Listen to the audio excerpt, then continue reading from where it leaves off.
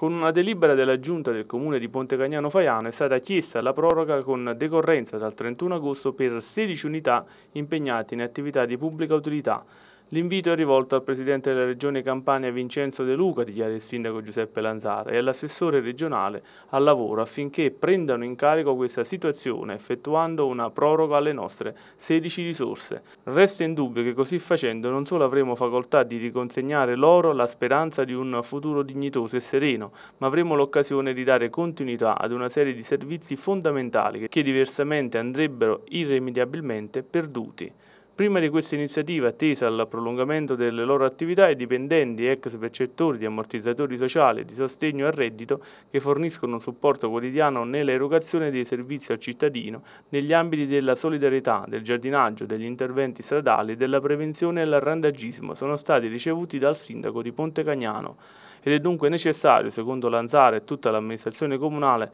del capofila dei Picentini, conservare l'attuale dotazione delle 16 unità impegnate nelle attività di pubblica utilità.